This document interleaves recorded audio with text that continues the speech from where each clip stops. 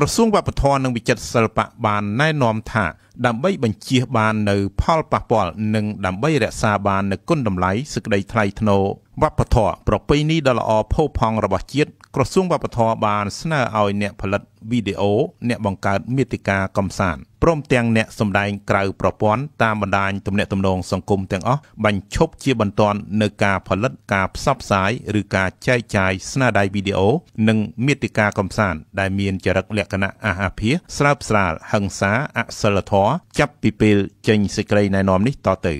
ដោយសង្ឃឹមថាអ្នកផលិតវីដេអូអ្នកបង្កើតមាតិកាកំសាន្តព្រមទាំងអ្នកសម្ដែងក្រៅប្រព័ន្ធនឹងទទួលបានការណែនាំនេះក្រសួងវប្បធម៌ក៏បានប្រមានដែរថាក្នុងករណីដែលបុគ្គលឬក្រុមណានៅបន្តប្រព្រឹត្តសកម្មភាពអវិជ្ជមានដោយបានរៀបរាប់ខាងលើក្រសួងវប្បធម៌រួមនឹងស្ថាប័នពាក់ព័ន្ធនឹងចាត់វិធានការយ៉ាងម៉ឺងម៉ាត់ទៅតាមផ្លូវច្បាប់ ជាការកត់សម្គាល់ការផលិតវីដេអូខ្លីៗជាលក្ខណៈបុគ្គលឬជាក្រុមបានកើតឡើងប្រងព្រាតហើយបង្ហោះតាមបណ្ដាញសង្គមនានាជាពិសេសតាម Facebook និង TikTok ខណៈដែលស្នាដៃឯកជនទាំងអស់នេះមានគោលដៅធ្វើឡើងដើម្បីទទួលបានកម្រៃពីបណ្ដាញសង្គមទាំងអស់នោះតាមរយៈការចូលចិត្តចែករំលែកនិងចូលមើល ដោយពុំមានការត្រួតពិនិត្យនិងចង់ឲ្យគណនីបណ្ដាញសង្គមរបស់ខ្លួនល្បីនិងទទួលបានអ្នកចូលមើលច្រើន ការផលិតវីដេអូខ្លះនិងការលើកឡើងមាតិកាកំសាន្តខ្លះត្រូវគេធ្វើឡើងស្រេចតែចិត្តដោយមិនខ្វល់ពីផលប៉ះពាល់នៅប្រពៃណីវប្បធម៌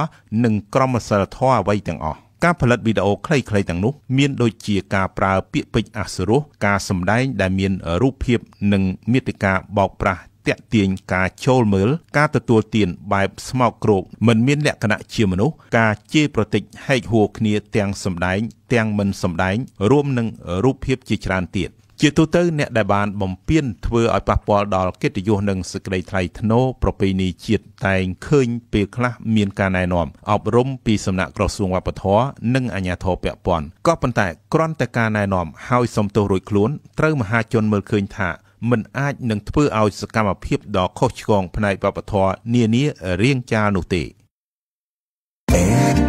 RFI FF